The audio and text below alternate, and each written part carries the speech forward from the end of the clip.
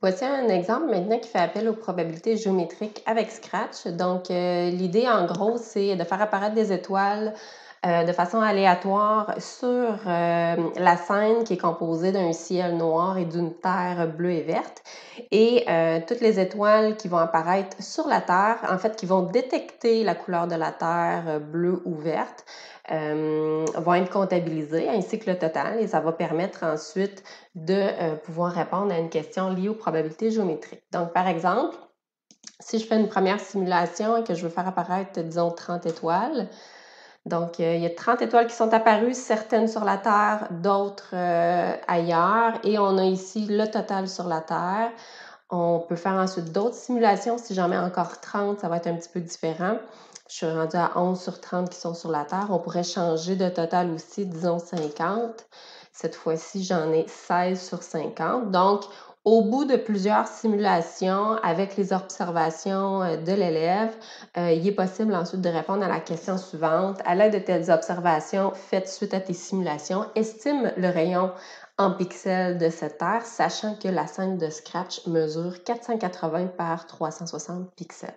Donc, comment est structuré ce programme? En gros, euh, ben, l'idée, c'est pas nécessairement de le faire avec vous, c'est plus de vous montrer euh, comment, il est, euh, comment il est structuré. Donc, au départ, on initialise nos variables. Il y a la variable totale qui doit être à 1 en partant parce qu'il y a quand même une étoile qui est toujours présente au départ. C'est notre sprite qui doit absolument être là.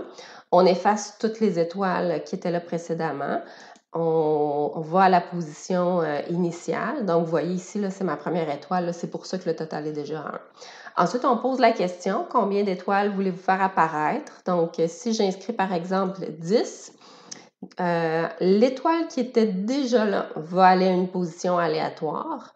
Puis ensuite, elle va estampiller. Estampiller, ça veut dire faire une étampe. On peut comme faire un clone. Et après ça, on va répéter Nombre d'étoiles moins une fois. Encore une fois, toujours parce qu'il y en a une qui est déjà existante. Et euh, on va à une position aléatoire à chaque fois. Donc ici, comme on a demandé 10 étoiles, elle a répété 10 moins une fois, c'est-à-dire 9 fois, les 9 autres étoiles en position aléatoire, aléatoire qu'on va aussi estampiller chacune. Et à chaque fois qu'il y a une nouvelle étoile d'estampillé, on ajoute un à notre total. Donc, c'est pour ça ici que notre total est rendu à 10, celle qu'on avait au départ, plus les 9 autres. Les 9 autres. Et toutes celles qui touchent à la couleur verte ou à la couleur bleue, donc ici, on est allé chercher des capteurs de couleurs dans la section capteurs. Euh, toutes celles qui touchent à cette couleur-là, bien, à ce moment-là, ça fait incrémenter euh, la variable terre. Donc, par exemple, ici, il y en a une seule qui touche à la couleur bleue ou verte. C'est pour ça que Terre vaut 1 seulement. Si je fais une autre simulation, encore une fois pour 10 étoiles, même principe, cette fois-ci, on voit qu'il y en a deux qui touchent à la Terre en bleu. Et ici, on en met, disons, 50. On pourrait les compter, mais il y en a 9 qui viennent toucher à la Terre en bleu ou en vert. Toutes les autres sont à l'extérieur.